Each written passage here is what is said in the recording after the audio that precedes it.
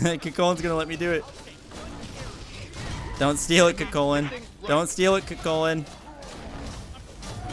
Beads. Let's go, we did it. Ah, run! I get lifesteal from this. I get lifesteal from my serrated. Let's go, we did it. Ah, run!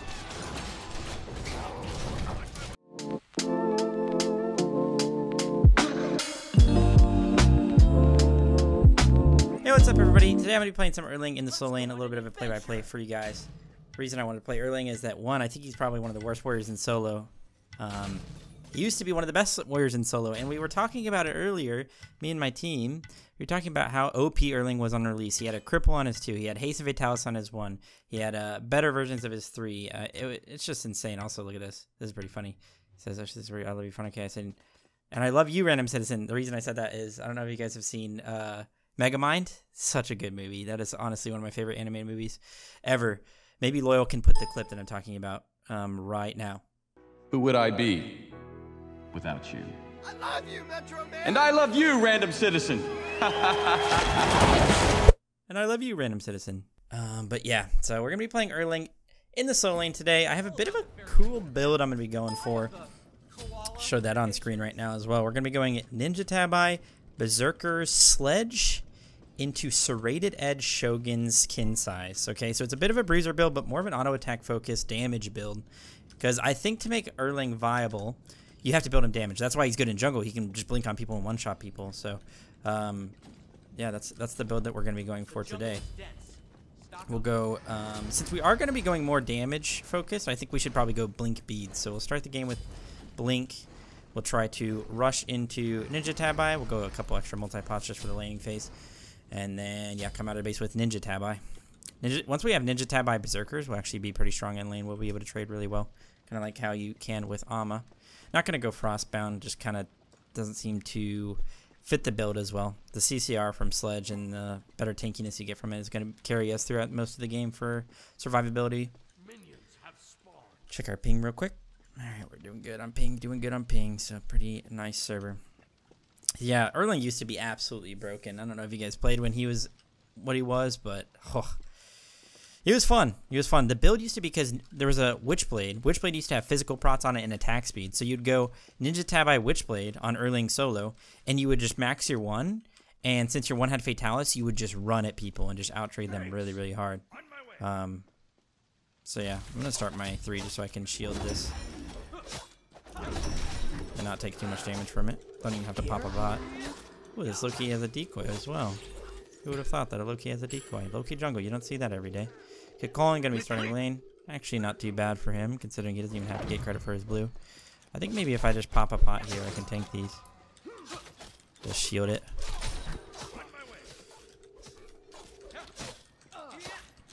So Erlang works really well with uh, an attack speed build just because of his one, but also because of his passive. He gets uh, basically like a, a, mini Qin's Sais. Gonna hit him with my two here, group up the wave. He's gonna hit me, which is good by him. For himself. We're gonna get Totem for our team. He's coming over to us, but it's no big deal. We'll get Totem for the team. He still has some minions to worry about here. He can tank these. And I'll read him in it. I can take his damage a good bit. Trade with him. Oh, I have a disco passive. That's what you love to see in solo. Might be able to kill this guy once my root comes back up. Maybe? Oh, maybe, yes. This should be a kill. Unless I miss. Might be a kill either way if he panics. Try and hit him with all my autos. No, I couldn't reach him. That's unfortunate. Drop kill. No, maybe we can maybe we can trick him here. Act like we uh, don't know what we're doing and then blink on him. Let's see. Does he see that I have blink? He's running away. We can zone him from these minions. We'll pop these pots and heal with those while we wait. Just poke him, I guess. Get a little true damage going. Bit of unfortunate one there because we definitely dropped that. My Erlang skills are rusty. Kappa. Let's see if he jumps here. Okay, that's good. We might be able to kill him now. Yeah, this should be a kill.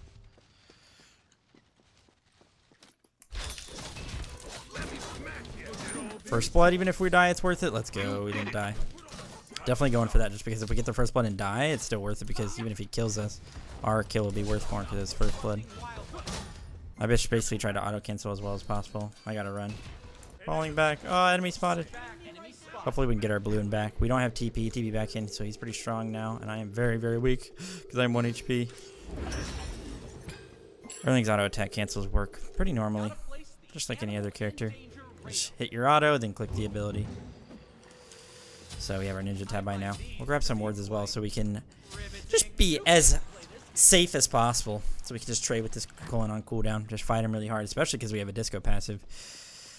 Disco passive is a soul best friend, like I said before. Just the extra power you get just makes it so hard for the enemy souls to trade into you. You basically just win trades by default because they have power that you they can't get, or you have power that they cannot get. They do not have the option to have unless they also have a disco. But shouldn't happen. So we need to get these. Oh, I only got one ward. What? Thought two. That's weird. Root him here. Force a jump maybe. If he jumps, then we maybe bink after him. The attack speed steroid. I'm not gonna ult him because he's gonna transform, so he wouldn't die. So we just poke him really hard. Also, my autos are desync. That's one of the worst things of Erlang. Proc our warriors again. Thing is, Erlang's actually pretty good at getting those uh, warriors busting stacks up. Just constantly throwing out his pin. Because the cooldown is longer than the, the uh, time it takes to get another hit of your warriors blessing, so you always proc it. Unless you go full CDR to start the game. So look, ready? Boom. There's another one. He didn't jump in time as well. Keep trying to get totems for our team. We'll get a high ward out.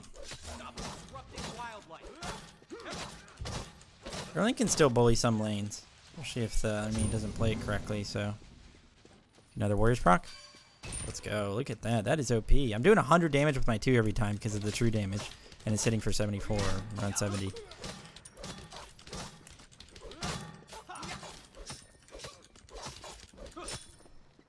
This blue should be coming up soon. That's his jump. That's his ult. Hello, Vamana. I should be able to 1v2 here. Hello, Vamana. That's his ult. I probably just kill this guy. Oh no, he put me in combat. We can kill this guy after.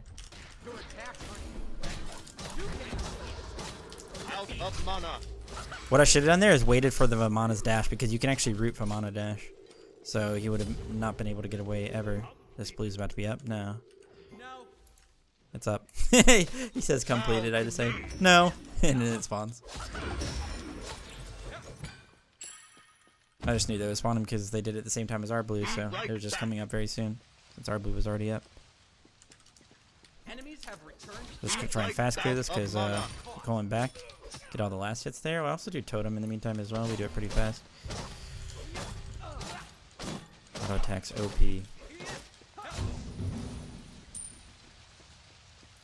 So mink this blue for the extra attack speed. Just burst this down.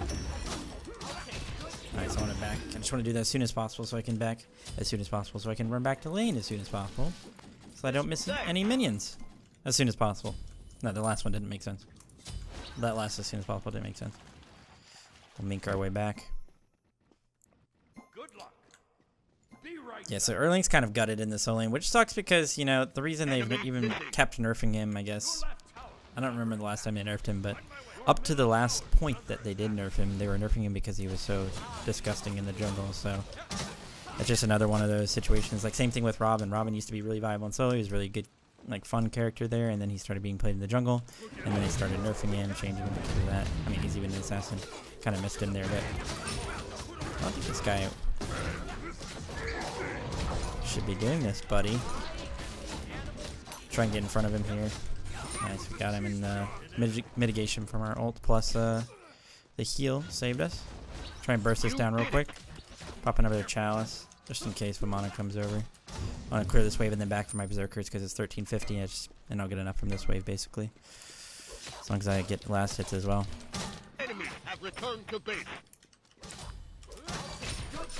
That's some good damage.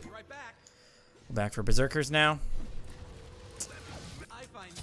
Cu Chulainn, usually should bully me, to be honest. Like, he should kind of own me in this lane, but right there, I kind of liked everything he did. His only problem is that he's two levels behind, and I think he probably only had full boots or maybe tier one of this, whereas I had tier two, and I got a two level lead with a disco passive, so it's just not a fight that he'll win at this point. Get these wards out. Play safe. Whenever you're just trying to fight a lot in solo, obviously extra pots would be nice, but at the same time, you want to make sure that you're not getting ganked so that you don't just int into them and then throw away your lead. So the two best wards you can really go for, pretty standard, are, are those. They are, I guess, what you could call late notice wards because it's like right when the Vamana, in this case the Vamana, but in, the, in any case the jungler, it's like right when the jungler is going to be ganking your lane, right? So you could also get some higher wards, like one right here and then one like right here, and that'll tell you, but that won't tell you when they're coming low, and a lot of times that's where people come from, so. Should be able to own this guy. I'm going to wait for his jump.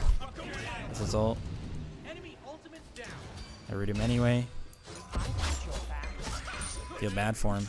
They are fighting in mid, though. He just decoyed my wave. What is he doing? I can maybe go help him out here. No good. Mana's coming this way. Did he? Cancel that. Cancel that. I'm not going to go all the way over there. So if you didn't know about Erlang, is that his one, if you uh, if it's on cooldown and you're autoing something, the each time you auto, it comes back up. So, and it used, like I said at the beginning of the video, it used to have Fatalis on it. Eventually, they switched it to the Mink to make it more balanced, so you had to use your escape to get the Fatalis effect. But even that was broken, so they took it away. But it used to, the Fatalis effect used to be on the one. So every time you clicked one, boom, you just start you just start Fatalising people. You have no movement penalty. It was ridic ridiculous. And the thing is, people didn't even realize it was ridiculous for a while. When Erlang was first released, people didn't think he was that good. They thought he was kind of like a bad character. Then he started getting played, and especially Aurora. Aurora played him in the support role with the best in mid lane on Raw, and his two used to cripple. So what they would do is they would just two people, and if Raw one ult them, they would, they would just use the Raw one into the ult because they were crippled and rooted. They couldn't move unless they use like a CC immune ability or some way to get out, right? Like beads. And if the beads were down, then it was just free. And if it was a support without beads, it was free. And yeah, the character just be, people started to notice, hey, this character is actually pretty insane. And if he was released today, oh, it would be disgusting. Although that's kind of how most characters are released nowadays. Yeah, I have a fight going on here. See if I can blink ult here. Just wait a second for the CC immunity. Get them both. Nice, we got them both. I was just waiting for the CC immunity. I could have gone a little bit earlier, but I don't think I would have saved them because if if I just blink taunted into the CC immunity, I wouldn't have saved them, right? They're still going to be getting hit. Just going to follow rotation there. Kikon went low. I saw him based on the ward and just went to help out my team. That's also why those wards are good. Give you some good, valuable information. It's not just about ganks.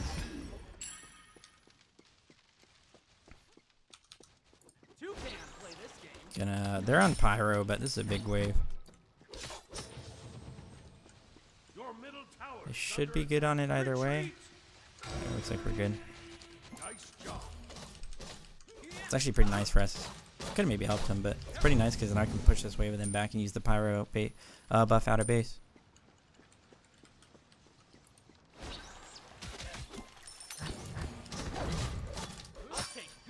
A little root there. Sometimes it's actually good to max your root. No, no troll. I think if you're trying to make Erlang viable in solo right now, that maxing the root might be the way to go. Obviously, the maxing 3 is nice because you get the extra shield and you get the attack speed as well if you decide to use that. But, I mean, if you just thrown this out on cooldown, 265 damage, that's just like unmissable poke. Now, if they have a way to avoid it like a Cullen does, he can just jump it every time, then probably not good too. Or if it's like a Cam and he can jump it, then it's not good, you know, but... Should I just run this guy down? Oh, he deformed. This is ult though. He deformed, so couldn't really chase him down. I might as well just go proxy. Alright, we won't proxy this way, but we'll get these high wards out real quick and then go for the proxy. Now that uh, it's getting a little bit later in the game, these high wards will be more vi uh, valuable, and I also want a proxy, so... I don't even need to really use too many abilities on that. Could put point zero. It does increase the damage mitigation and the heal, but we don't really need that. We should have a ward to see if Amana comes over here. I mean, we one-shot this anyway, so... Even if he comes over here, he's level 10, I'm level 14, I would just probably kill him. I'm using the Pokemon trainer skin. My blink's up in 3, I can make make a play. I have 129 power, and I'm still pretty tanky. This Disco Pass is definitely helping a lot. Oh, hell of a mana. Hello, Hera. Oh, enemy ultimate down.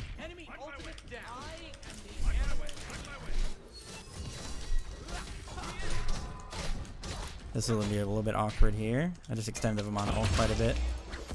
Enemy missing. Nice. Maybe blink on this Hera. Don't put me in combat so bad. Where are you at, Hera? Argus? I don't think so. Alright, let's run back. Defend left.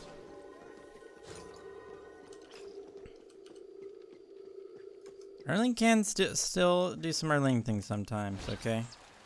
Don't get it twisted. And the thing is that they're actually, I mean, the items are suited for him right now. You know, Berserkers is a pretty good item in general, and I think it's uh, definitely an item that Erlang would like to buy, as you can see. But the only reason I'm actually able to do most of what I'm doing right now is because this disco passive. Really shouldn't be bowling the way I am. Disco passive is a, a trump card. Basically, there's like global ultimates that are trump cards. So like if you're 1v1ing in solo and um, you have a Neith ult that'll help you, then that's a trump card. Uh, if you have a disco passive that can help you, that's a trump card. Maybe even Athena ult sometimes to, for safety reasons and maybe for aggressive reasons. That could be a trump card. I mean, basically anything that can affect your lane without them really having to commit too much makes it really hard for the enemy solo to do much. Blue is up again. See if we can go grab that real quick.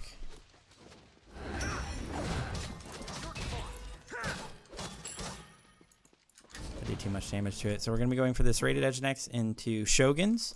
A little bit of magical defense for their Hera, and it'll also give us attack speed, which goes in line with the theme of the build. And CDR never hurt no one. Except for the enemies. We grab our own blue to keep the hyper farm going here.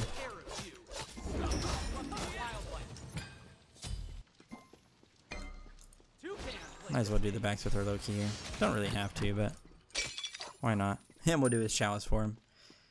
Probably could just hard push left and then back as soon as possible for our serrated edge, because that thing is going to pop off. The cool thing about this build is I actually do a lot of damage to tanks as well, because I'll have 30% phys uh, physical pen. So, once I get my Qin's Sais, it doesn't matter who I'm going on, I should be one-shotting them. Because my base damage plus a little bit of power that I'm getting and the attack speed I have will carry me against their carries, and then the uh, phys percent physical pen and the Qin's Sais that I'll have will absolutely carry me against their tanks. Help me shred them. Plus my passive, like I said before, it's like a mini Qin's Sais. So.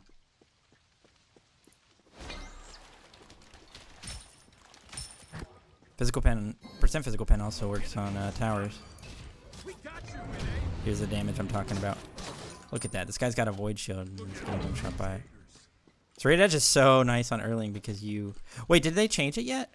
No, no, no. So, okay, so next patch it's going to be um, based on each ability that's on cooldown. So one ability is on cooldown, you'll get power from it. You'll get the, the passive effect. Two abilities, then you get a little bit extra. Three abilities, then you get all of it. You don't have to have them all on cooldown to get any effect. Oh, that was awkward. Look at this damage. Just wanted to use my ulti to make sure you can jump away. That shouldn't even have been close, dude. That damage is insane.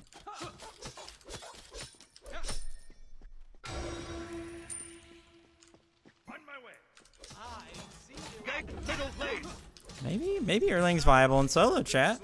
Chat. I'm not even streaming. I just say that reflexively a lot. Okay, I wonder if I could do fire. I get lifesteal. Okay, I bet you if, if my ult was up, I could do fire. I could try and solo it. Oh, there's an Apollo.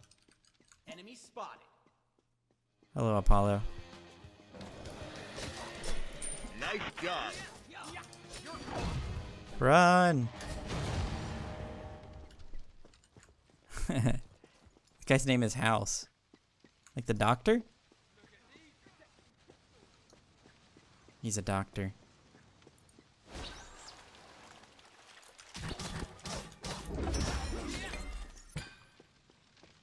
Go do our back, steal them from our Loki. We're about to be level 20. I thought I heard somebody on fire just now, but I think it was Colin. Please don't clip my friend.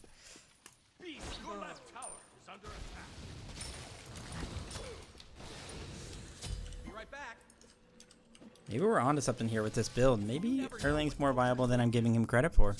What do you guys think? Let me know in the comments. Are you guys making Erlang work in solo right now?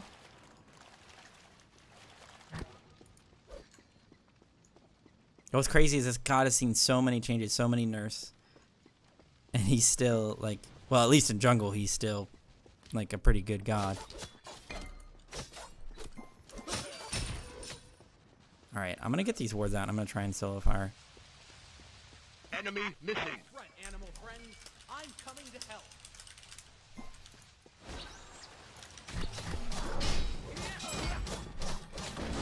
Get this on cooldown so I can get the extra serrated damage. Enemy missing right.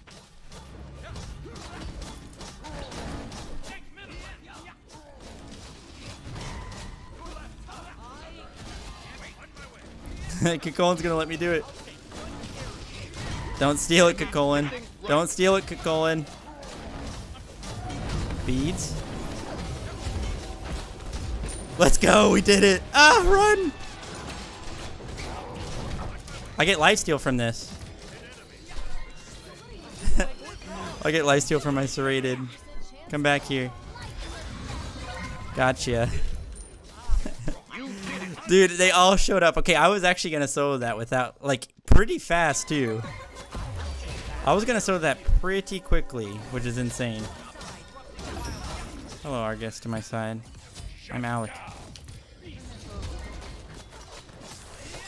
Oh my goodness, that that damage is ridiculous.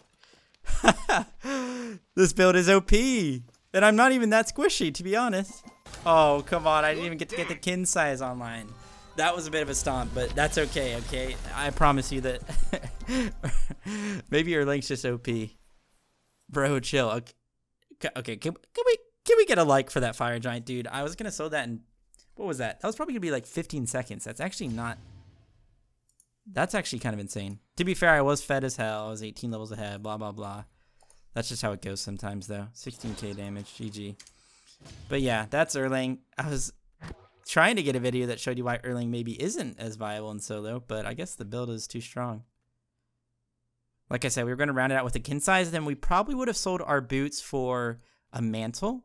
We would have lost some attack speed for it, but at the end of the day, it would have made us pretty tanky on sieges and stuff like that. So, um, so yeah, I don't know.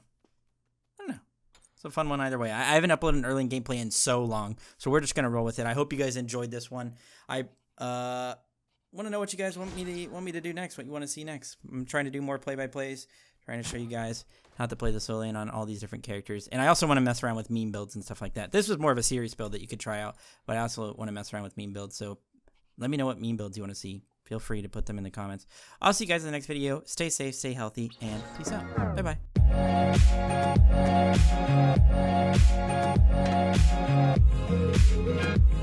Thank